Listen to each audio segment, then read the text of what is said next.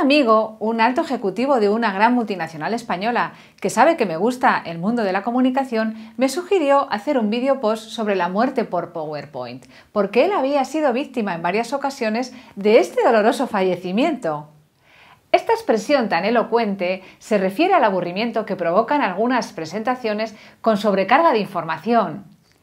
Al margen de que hay quien defiende que la popularización del PowerPoint se ha debido a la abundancia de oradores con escasa capacidad de comunicación, lo cierto es que yo prefiero a aquellos oradores que con su simple expresión corporal, que con su lenguaje y con su empatía son capaces de evocar una imagen o una metáfora que se grabará en nuestra memoria para siempre. Prueben, láncese a la piscina sin flotador, a ver qué pasa.